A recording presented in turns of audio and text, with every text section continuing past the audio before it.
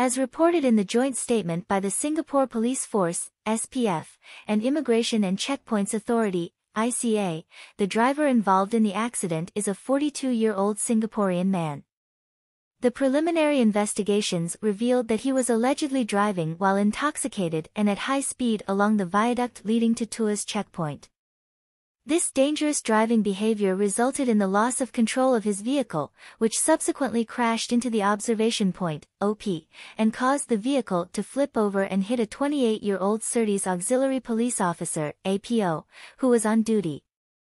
The fact that the driver was allegedly intoxicated and speeding at the time of the accident is a serious concern.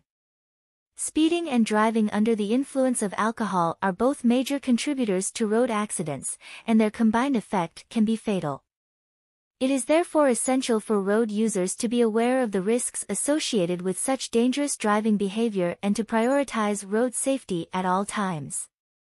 In conclusion, this incident highlights the need for continued efforts to promote road safety in Singapore. The authorities' swift action in investigating the incident and releasing a joint statement is commendable, and we hope that appropriate measures will be taken to prevent similar incidents from happening in the future.